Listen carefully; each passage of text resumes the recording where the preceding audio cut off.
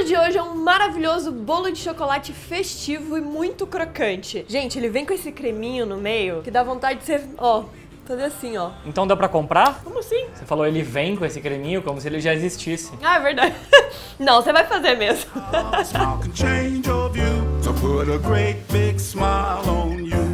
Fazer a massa, eu vou começar separando os secos. Então, em um pedacinho de papel manteiga ou num prato, no que você preferir, eu vou colocar duas xícaras de farinha de trigo e vou peneirar.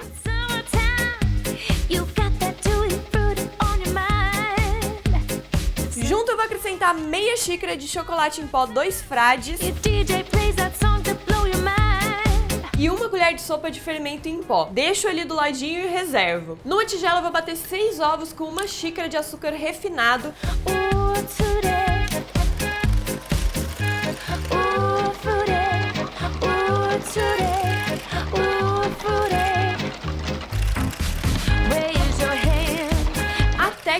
fique bem branquinho, bem volumoso e bem bonito. Na sequência, eu vou acrescentar uma xícara de leite, batendo isso tudo ao mesmo tempo. E logo que eu bater, eu já acrescento todos os meus secos e misturo isso tudo muito bem naquele melozinho da confeiteira, do centro para fora, bem delicadinho, para nossa massa não cair, não perder o volume.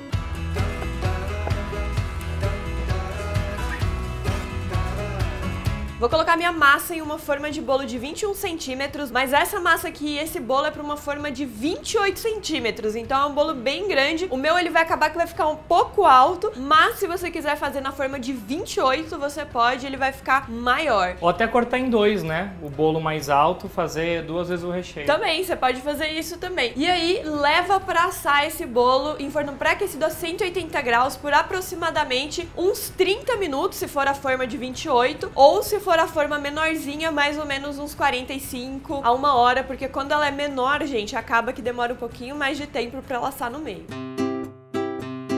Agora, para fazer esse maravilhoso recheio, eu vou usar uma caixinha de leite moça, essa que abre super fácil. Na sequência, eu vou colocar uma xícara de leite, duas gemas, e duas colheres de sopa de amido. Você mistura isso muito bem, ainda com fogo desligado, e só então você liga o seu fogo e pode cozinhar o creme até ele ficar grossinho.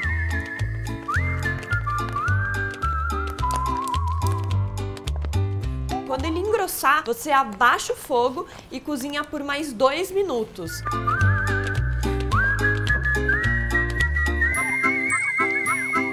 Então, para sair todo aquele gosto do amido, você vai cozinhando aí vagarosamente e só depois desses dois minutos você desliga o fogo e acrescenta uma lata de Nestlé creme de leite.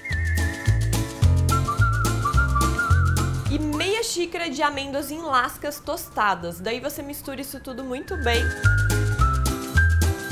Coloca um plástico filme em contato em cima do seu creme e deixa ele esfriar pra gente usar no recheio depois. Pra fazer a calda, eu vou usar 3 colheres de sopa de mel.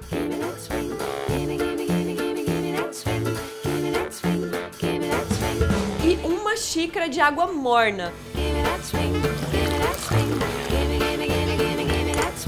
Misturo isso tudo e reservo a calda também. Super fácil, né? E o cheiro dessa calda. É maravilhoso.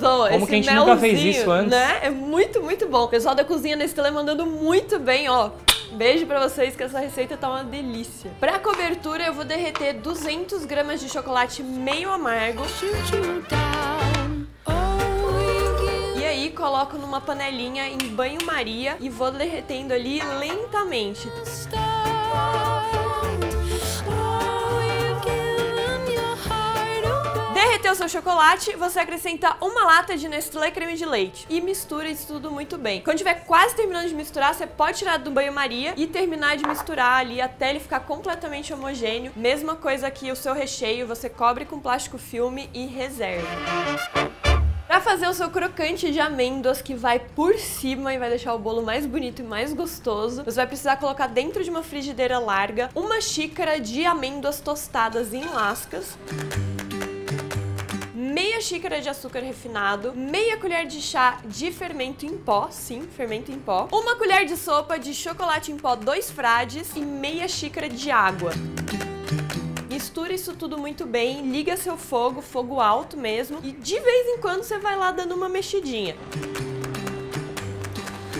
Você vai ver que a água vai evaporar todinha. A hora que ela estiver quase terminando de evaporar, você pode mexer bem para ela evaporar mais rápido. E depois coloca esse seu crocante de amêndoas por cima de um silpá, ou por cima de um papel manteiga, ou por cima do seu mármore, ou a sua bancada de pia levemente untada para ele não grudar. O que você tiver, né? O que você tiver e deixa ele esfriar por completo. Agora vamos para a parte mais gostosa do bolo, que é a montagem. E antes de fazer essa montagem, você já deixa seu like aqui no vídeo e se inscreve inscreve no canal, gente. Quero chegar logo a 2 milhões de inscritos, então se inscreve no canal.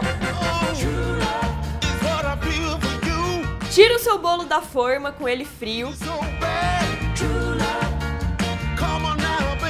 Você corta ele ao meio.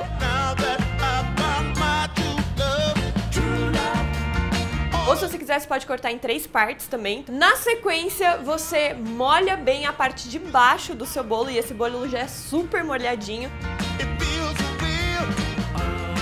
E depois já vem com o recheio cobrindo aí toda essa primeira metade. Se você for fazer em três partes, você divide seu recheio ao meio para colocar metade em uma parte e metade na segunda parte.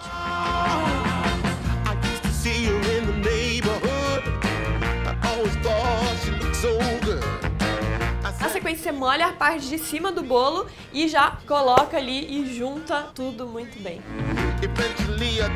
Agora eu vou vir com a minha cobertura de chocolate espalhando uma camada fininha em volta do bolo e levo pra geladeira pra ele gelar. Esse truquezinho aqui é perfeito pra você não deixar o seu bolo espatifar depois.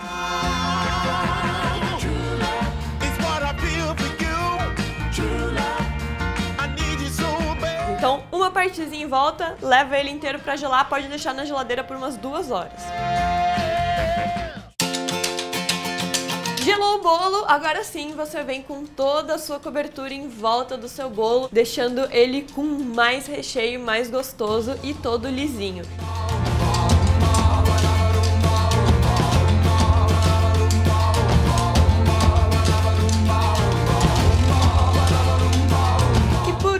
Para decorar, você pega o seu crocante de amêndoas e vai quebrando os pedacinhos dele, jogando em cima do seu bolo e deixando ele mais gostoso.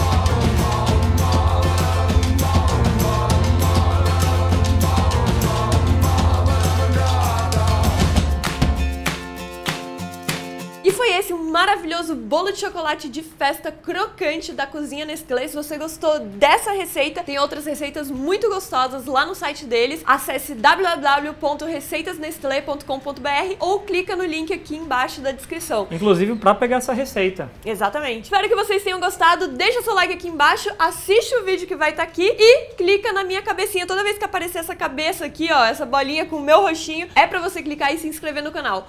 Amo vocês demais. Um beijo enorme. Tchau!